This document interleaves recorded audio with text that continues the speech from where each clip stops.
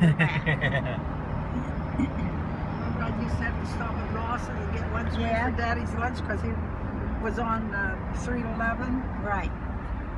And I remember one time, one of us forgot to pick up a cake of yeast. Yeah, we had to go back yeah. and get it. It was five cents, so we had to walk all the way back wow. down to Ross's to get it.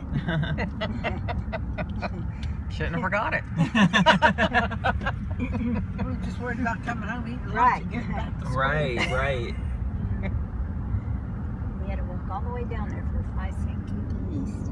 Here's Aunt Jean's house. Here, right Uh, we should have went down the alley Mm. so they could see the back of it. Yeah. Oh, I wanted to show her Cindy, uh, Cindy Capo. She wouldn't. Uh, Oh yeah, go by Capos. Lou's, Lou wanted to show her what she's done to that house over there. You wouldn't believe it. All chucked up. I know, I noticed that all that stuff around it when we came around Oh the my corner. I thought, what happened here? She really, she really has it. And who did it? Cindy, the girl that was in Mur- Murphy's tonight. and And so what is she related to? Nick? That's his daughter. Is this it right here? Yeah. Yeah. Look at the house below. That's hers too. Her, her son was there. Look at all the junk.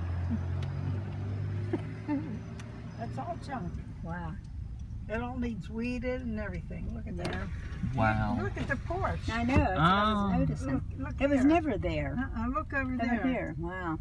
Isn't- Isn't that overdone? They haven't used that weed whacker in a while, have they? hmm Yeah, I think it's a little bit overdone.